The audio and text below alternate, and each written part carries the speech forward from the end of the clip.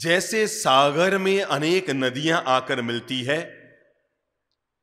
और पता नहीं दुनिया भर के कितने कितने रहस्य सागर में छिपे हुए हैं, ऐसे ही हमारा जीवन भी एक सागर है। जैसे सागर में कई नदियाँ आकर मिलती है तो सागर का रूप विराट बनता रहता है। ऐसे ही हमारी ज़िंदगी में भी कई परिजन, कई परिवार, कई अपने, कई सपने आकर जुड़ते रहते हैं। और जैसे सागर की गहराई अथाह होती है, ऐसे ही हमारे जीवन की गहराई है। और जैसे सागर में अनेकों रत्न छिपे हुए हैं, और दुनिया भर के पता नहीं क्या क्या चीज़ें सागर में छिपी हुई है, ऐसे ही हमारे ज़िंदगी में भी पता नहीं, अनंत अनंत अनंत अनंत अनंत शक्तियाँ मनुष्य के जीवन में छिपी हुई है। पुण्य भी मनुष्य के जीवन में छिपा हुआ है, पाप भी मनुष्य के जीवन में छिपे हुए हैं। आपको पता है, जब समुद्र का मंथन हुआ था, तब उसमें से कई चीज़ें निकल कर आई, पर मैं आपको बता दूँ, उनमें से दो खास चीज़ें निकल कर आई थी। उनमें से एक का नाम था जहर और एक का नाम था अमृत। क्या आप कभी सोच सकते हैं, जिस जगह से अमृत निकल कर आया है और उसी जगह से जहर निकल सकता है? मनुष्य का जीवन सागर की तरह है, जैसे सागर जहर भी पैदा करता है और अमृत भी पैदा करता है। ऐसे ही इंसान है, जैसे अमृत के पैदा होने की जगह एक ही है और और जहर के पैदा होने की जगह एक ही है। वैसे इंसान है, ऐसा नहीं कि हमारे भीतर क्रोध कहीं और से पैदा होता है, प्रेम कहीं और से पैदा होता है वैर विरोध कहीं और से पैदा होते हैं, क्षमा कहीं और से पैदा होती है, कटुता कहीं और से पैदा होती है, आत्मीयता कहीं और से पैदा होती है, वैर विरोध कहीं और से पैदा होते हैं और मित्रता कहीं और से पैदा होती है। सच्चाई तो यह है, ये दोनों एक ही सिक्के के दो पहलू हैं। जहाँ से हमारे भीतर प्रेम जगता है, वहीं से हमारे भीतर क्रोध और क्षमा जगती है। जहाँ से हमारे भीतर लोभ जगता है, वहीं हमारे भीतर संतोष जगता है। मेरे भाई, एक मनुष्य है जिसको धन देखकर लोभ जग रहा है, और वहीं दूसरा मनुष्य है जिसको धन देखकर संतोष जग रहा है। एक मनुष्य है जिसको सौंदर्य देखकर काम जग रहा है, और एक मनुष्य है जिसको सौंदर्य देखकर भीतर का राम जग रहा है। एक मनुष्य है जिसे सुख भोग देखकर भौतिकता जग रही है, और एक मनुष्य है जिसके भीतर संयम के भाव जग रहे हैं। मनुष्य के मन की दो कमजोरियाँ होती है, एक तो गोरी चमड़ी और एक ज़्यादा धन। ये जो मनुष्य के मन की दो कमज़ोरी होती है, आप कल्पना कीजिए, जहाँ पर पूरी दुनिया भाग रही है, धन के पीछे भाग रही है, सुखों के पीछे भाग रही है, भोगों के पीछे भाग रही है, जमीनों के पीछे भाग रही है, व्यवस्थाओं के पीछे भाग रही है। प्रणाम करो उन दिव्य आत्माओं को, जो इन इन सबको छोड़कर भी आत्म कल्याण के लिए अपने कदम बढ़ा रहे हैं। जहाँ हमारा मन दो रुपये के पीछे लोभ में पागल हो जाता है, जहाँ हमारा मन चार फुट ज़मीन के टुकड़े के लिए केस करने को तैयार हो जाता है, जहाँ हमारा मन थोड़े से सोने चांदी के लिए पागल हो जाता है, जहाँ हमारा मन परिवार के राग में, परिवार के मोह में, परिवार की आसक्ति में मरते दम तक डूबा रहता है। कल्पना करो, उन दस दस वर्ष के बच्चों के लिए जिन्होंने आत्म कल्याण के लिए अपने कदम बढ़ाए हैं, कल्पना करो उन जवानों के लिए जिन्होंने विवाह के दो दो चार साल के बाद भी अपनी धर्म पत्नी को साथ लेकर, अपने पति को साथ लेकर परमात्मा का पवित्र मार्ग स्वीकार किया है। प्रणाम करो उन सब लोगों को जिन्होंने दस दस हज़ार करोड़ की संपत्ति का त्याग करके और भगवान का ये रजोहरण, भगवान की ये मुपत्ति, भगवान का ये पवित्र वेश जीवन में धारण करके अपने आत्म कल्याण के लिए अपने कदम बढ़ाए हैं। ज़िंदगी दोनों की है, केवल जीने के तरीके इंसान की ज़िंदगी को बदलते हैं। मैंने कहा ना, समुद्र ही जहर पैदा करता है और दूसरी सच्चाई यह है कि समुद्र ही, बोलो बोलो बोलो बोलो, अमृत पैदा करता है। ये हमारे हाथ में है, हम हमारी ज़िंदगी में से अमृत पैदा करते हैं या जहर पैदा करते हैं। क्या गजब की ज़िंदगी होती है जहाँ इंसान थोड़े थोड़े सुखों के पीछे भाग रहा है। वहाँ कल्पना करो किस तरह लोगों ने त्याग और वैराग्य के मार्ग अपनाए। अरे भगवान श्री महावीर और बुद्ध ने किस तरह से भरी जवानी में अपने कदम संन्यास की तरफ़, दीक्षा की तरफ़ अभी निष्क्रमण की तरफ़, मुक्ति की तरफ़, कैवल्य की तरफ़ बोधि सत्व की तरफ़ आत्म कल्याण के निर्वाण और मोक्ष की तरफ़ बढ़ाए। एक बार दिमाग में आप कल्पना लीजिए जम्बू स्वामी के बारे में, जिस व्यक्ति का आज विवाह हुआ है। आठ आठ सुंदर सुंदर राजकुमारियों जैसी कन्याओं के साथ विवाह हुआ है और जिनके विवाह पर एक एक कन्या के घर से करोड़ों, करोड़ रुपए का दहेज आया है और जो खुद ही बड़ा अच्छा अमीर पति नगर सेठ का बेटा है। कल्पना करो, ज़िंदगी दो बातों पे निर्भर करती है। तुम भोगना चाहते हो, तुम मुक्त होना चाहते हो, तुम संसार में डूबना चाहते हो, बाहर निकलना चाहते हो। जिसको डूबना है, वो अस्सी साल का होकर भी बाहर नहीं निकल पाएगा और जिसको निकलना है, वो विवाह की पहली रात में ही अपनी आठ आठ पत्नियों को भी साथ लेकर और प्रभाव जैसे डाकू और 500 चोरों को साथ लेकर और अपने माता पिता और पत्नियों के माता पिता को साथ लेकर भी परमात्मा के मार्ग पर निकल पड़ता है। अरे मेरे भाई, जहाँ इंसान छोटी छोटी चीज़ों के प्रति नब्बे साल का बूढ़ा हो जाए, तब भी उसकी आसक्ति कम नहीं होती। वहाँ कल्पना करो, कोई धन्ना और साली भद्र जैसे महापुरुषों के लिए कि जिन्होंने अपने आत्म कल्याण के लिए किसी की आठ पत्नियाँ थी, किसी के बत्तीस पत्नियाँ थी, किसी के पास राज वैभव था, कोई नगर सेठ था, लेकिन इन सबको त्याग करके भी व्यक्ति दो मिनट में निकल पड़ता है, अपने आत्म कल्याण के लिए केवल इंसान का चिंतन होना चाहिए। केवल हम ये कहते रहे, संयम लेना है, बाप जी संयम लेना है, बाप जी संयम लेना है सोचने, कहने मात्र से संयम नहीं होता है। जब तक व्यक्ति उसकी क्रियान्विति नहीं करता है, जब तक व्यक्ति उसके लिए कदम नहीं बढ़ाता है, अपनी मनोदशाओं को तैयार नहीं करता है, तब तक आदमी कूद कर निकल नहीं सकता है। तभी तो कबीर कहा करते थे ना, जो गर फूके आपना और चले हमारे साथ, जो दो मिनट में छलांग लगाकर। दुनिया से वो नहीं निकल सकता जो सोचता अच्छा देखता हूँ। कल देखता हूँ अच्छा परसों देखता हूँ, ठीक है, पचास साल का हो जाऊँगा ना, फिर मैं अच्छा बाप जी अब साठ साल का हो जाऊँगा, और साठ में क्या होगा? जो दस, बीस, पचास भय सत हो या हज़ार तो लाख मंगेगी, कोटि अरब असंख्य अनंत धरापति होने की चाह जगेगी, सुंदर एक संतोष बिना, नर तेरी तो भूख कभी ना मिटेगी, कभी नहीं मिटेगी, कभी नहीं। आप क्या समझते हैं हज़ार पति भग रहा है? आप क्या समझते हैं लखपति भग रहा है? आप क्या समझते हैं करोड़पति भग रहा है? आप क्या समझते हैं अरबपति भग रहा है? अरे मेरे भाई, हज़ार पति तो बेचारा पैदल ही भग रहा है और अरब पति तो रल्स कार में भग रहा है। भगना दोनों का जारी है, पाना दोनों का जारी है, ज़िंदगी में तृष्णाएँ दोनों की जारी है, ज़िंदगी में मूर्छाएँ सबकी जारी है और इनसे मुक्त होने का नाम ही तो साधना है। मैंने कहा था ना, साधना के पथ पर फिर से कदम बढ़ाइए, अपने को पहले बिल्कुल खाली बनाइए। जब तक व्यक्ति अपने अंतर मन को खाली नहीं करेगा, निर्बल और पवित्र नहीं करेगा, मेरे भाई, अपनी अंतरदशा को व्यक्ति को तैयार करना पड़ता है। ये कलयुग, जहाँ पर हर आदमी भौतिक संसाधनों में फंसा हुआ है। पंचम काल में जो इंसान साधु बने, वो महान है। अरे, देवों से भी ऊँचा, और और और राजाओं से भी ऊँचा, जिस चीज़ का दुनिया में सम्मान है, वही तो ये संयम का स्थान है।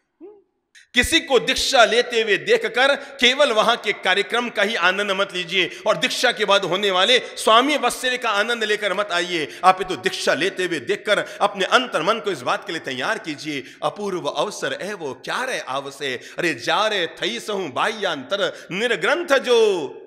सर्व कर्म बंधन अनुबंधन छेदी ने अरे विचर सू कब महत्व पुरुष ने पंथ जो। जब कभी दीक्षा को देखें, जब तीर्थंकरों के दीक्षा कल्याण को संपन्न करें, जब किसी को संयम जीवन स्वीकार करते हुए देखें तो केवल चढ़ावा लेने तक अपनी भूमिका अदा ना करें, केवल समारोह में जाने तक अपनी भूमिका अदा ना करें, केवल भोजन जीवनवारी करके आने तक अपनी भूमिका अदा ना करें, तब मन में भाव ना भाए, अपूर्व अवसर ऐसा कब कब आएगा? श्रीमद राजचंद्र हर इंसान के भीतर में सोए हुए वैराग्य को जगाने के लिए, उसकी आत्मदशा की भावना देने के लिए, उसके अंतर मन को निर्मल और पवित्र करने के लिए और उच्च आध्यात्मिक स्थिति मनुष्य को प्रदान करने के लिए वो हमें जीवन का पाठ पढ़ाते हैं। अरे सोचो, चिंतन करो, आत्मचिंतन करो। अपूर्व अवसर ऐसा कब कब आएगा जब होऊँगा महापुरुष के पंथ जो मेरे जीवन में ऐसा अपूर्व अवसर कब आएगा जैसे ये व्यक्ति संयम के मार्ग पर जा रहा है। अरे जब जब मैंने अमीर को देखा, मेरा मन भी हुआ कि मैं अमीर बन जाऊँ। जब जब मैंने संपन्न को देखा, मेरा मन भी हुआ कि मैं संपन्न बन जाऊँ। जब जब किसी सुंदर को देखा, मेरा मन भी हुआ कि मैं भी ऐसा सुंदर होता। पर जब जब मैंने त्यागी और तपस्वी को देखा, तब मेरा मन क्यों नहीं तैयार होता कि मैं भी ऐसे पवित्र मार्ग पर अपने कदम बढ़ा लूँ? जब जब मैं दीक्षाओं की बातें सुनता हूँ कि सूरत में अमुक ने दीक्षा ली, चालीस करोड़ का त्याग करके, कि मुंबई में चार चार सीए लड़कों ने एक साथ दीक्षा ली, कि वहाँ पर अहमदाबाद में आठ आठ एमबीए लड़कों ने एक साथ दीक्षा ली। क्या दुबई से आकर दस कन्याएँ जो सब डॉक्टर और इंजीनियर थी, सबने एक साथ दीक्षा ली? और जब जब सुनता हूँ पाँच पाँच करोड़ का पैकेज छोड़कर दो दो करोड़ का पैकेज छोड़कर एक एक करोड़ का पैकेज छोड़कर, और वो सुकन्याएँ परमात्मा के श्री मार्ग पर, संयम के श्री मार्ग पर आ रही है, तब क्या हमारी आत्मा के भीतर ये अलख नहीं जगती कि जीव सोच तू कब मुक्त होगा? सोच तू कब इन धाराओं से बाहर निकलेगा? ये संसार के सागर से बाहर निकलने के लिए हमारा उपक्रम कब बढ़ेगा? हर इंसान को यह आत्मचिंतन करना चाहिए। सागर को पार करना यही जीवन की साधना है और सागर में डूब के ज़िंदगी खत्म कर लेना यही जीवन का समापन है। भगवान कहते हैं, बहुत ध्यान से सुनना हर जीव के आत्म कल्याण के लिए, हर जीव की मुक्ति की साधना करने के लिए, हर जीव को आत्म कल्याण का पवित्र मार्ग देने के लिए कहते हैं। जब भगवान श्री महावीर का निर्वाण हुआ था, और निर्वाण से पहले पता है, भगवान श्री महावीर ने अपने सबसे प्रिय शिष्य, शुभ नाम बोलिए, गणधर श्री गौतम स्वामी, जिनके लिए हम रोज सुबह सुबह की प्रार्थना में गाते हैं, अंगूठ अमृत बसे और लब्धतना भंडार, श्री गुरु गौतम समरिये मन वांछित दातार, वे गणधर गौतम स्वामी, जो भगवान श्री महावीर से बेहद प्रेम करते थे।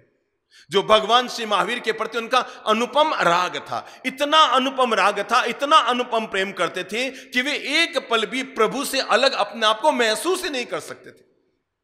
भगवान के निर्वाण का समय आया।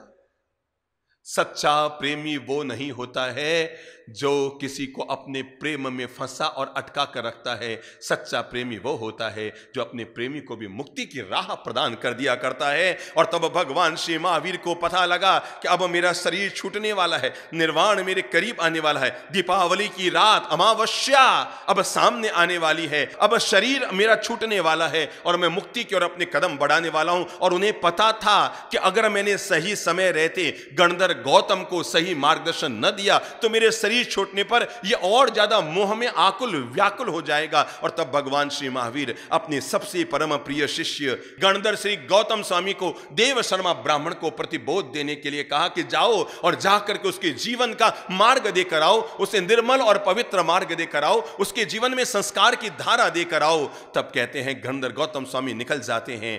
देव शर्मा को प्रतिबोध देकर के वापस लौट रहे हैं। घटना को अब लीजिएगा आगे। और तब अचानक रात के समय में गणधर गौतम स्वामी देख रहे हैं कि पूरा आसमान जगमगा रहा है। हज़ारों लाखों लाख देवी देवता आ रहे हैं जा रहे हैं हज़ारों नर नारी जा रहे हैं। गणधर गौतम स्वामी चौंक जाते हैं। अचानक अर्धरात्रि में ये क्या हो रहा है? और तब वो आ, कुछ गुजरते हुए देवी देवताओं को रोक कर पूछते हैं कुछ महानुभावों को पूछते हैं अजी तुम सब लोग कहाँ जा रहे हो? तब वो कहते हैं आपको नहीं पता। अरे जिनके आप सबसे परम प्रिय शिष्य है भगवान श्री महावीर का क्या हो गया है? निर्वाण हो गया है। और जब ये बात सुनते हैं गणधर गौतम, हतप्रभ रह जाते हैं, चौंक जाते हैं ओ मैं सोच नहीं सकता। मैं ज़िंदगी भर जिनके लिए जी रहा था, जिनके मोह माया में जी रहा था, जिनके प्रेम में मैं अनुरक्त था, भगवान मुझसे इतने मुक्त निकले। अरे, मैं कौन सा उनका पाँव पकड़ रहा था? मैं कौन सा उनको मोक्ष में जाने से रोक रहा था? मैं कौन सा उनका बाधक बन रहा था? अरे भगवान, आपने मेरे साथ ये क्या किया जो जीवन भर आपको चाहता रहा? आपने उसी को अपने मृत्यु के समय में दूर कर दिया। क्या आपको पता नहीं था कि आपका निर्वाण होने वाला है? भगवान, आप तो सर्वज्ञ हैं। भगवान, मुझे केवल ज्ञान नहीं था, पर आपको तो केवल ज्ञान, परम ज्ञान मिला हुआ था। आप तो सर्वज्ञ है, प्रभु, आपको तो पता था कि आपको अब मोक्ष होने वाला है। और आपने अंतिम घड़ी में, अंतिम घड़ी में मुझे दूर कर दिया। अहो, भगवान, आपने ये क्या किया? और तभी उधर से एक गुजरते हुए देव को गणधर गौतम स्वामी ने पूछा था, क्या भगवान ने अपनी देह का विसर्जन करते समय मोक्ष, मुक्ति और निर्वाण के लिए अपने कदम बढ़ाते समय मेरे लिए कोई बात कही? तब भगवान के द्वारा गणधर गौतम स्वामी के लिए कही गई वो बात मैं आपको बता रहा हूँ। तब भगवान ने उत्तराध्ययन सूत्र में गणधर श्री गौतम स्वामी के लिए कहा था तीर्ण हुसी अर्णवम हम किंग पुण चिट्ठ से तीरम आ गो अरे अभितुर पारम गमित समयम गोयम महापमाये तीर्णो हुसी अर्णम हम बहुत गहरी बात है, ये वो संदेश है जो भगवान श्री महावीर ने गणधर से गौतम स्वामी के लिए छोड़ा था। और ये वो संदेश है जो आज मैं आपको भगवान की ओर से दे रहा हूँ। और तब भगवान ने गणधर गौतम स्वामी से कहा था कि मैं चाहता था तो तुम्हें अपने पास रख सकता था, अपने मोह और राग में तुम्हें और ज़्यादा तू डूब सकता था। पर मैं तेरा आत्म कल्याण करना चाहता हूँ, मैं तुम्हारी मुक्ति की व्यवस्था करना चाहता हूँ। मैं तुम्हें परम ज्ञान, केवल ज्ञान के आभा से अभिमंडित देखना चाहता हूँ। हे गौतम, तीर्ण होसी अर्णम तूने पूरा सागर पार कर लिया है। ध्यान से सुनना, भगवान की बात को। तीर्ण हुसी अर्णम हम तूने महासागर पार कर लिया है। किंग पुण्य चिट्ठ से तीर मागो। अरे फिर किनारे पे आकर कहाँ अटक गया है? क्या कहा? तूने पूरा महासागर पार कर लिया है। इतनी साधना की कि तेरे द्वारा दीक्षित किए हुए हज़ारों शिष्यों ने परम ज्ञान प्राप्त कर लिया।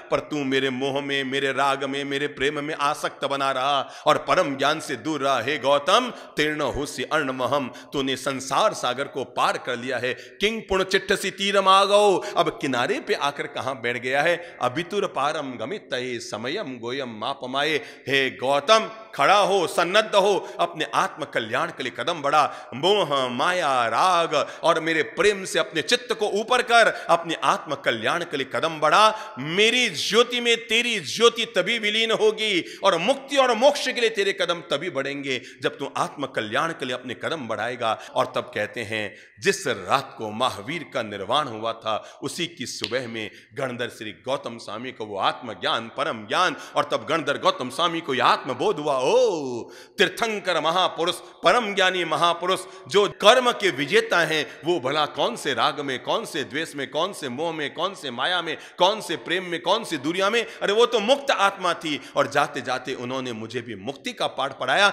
मैं आपको यही कहना चाहता हूँ, हर आदमी को अपने जीवन में मुक्ति का प्रयास करना चाहिए।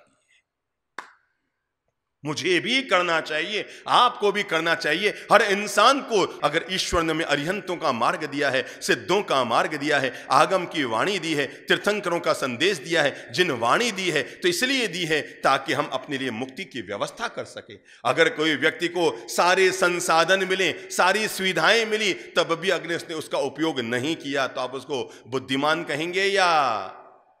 बोलो।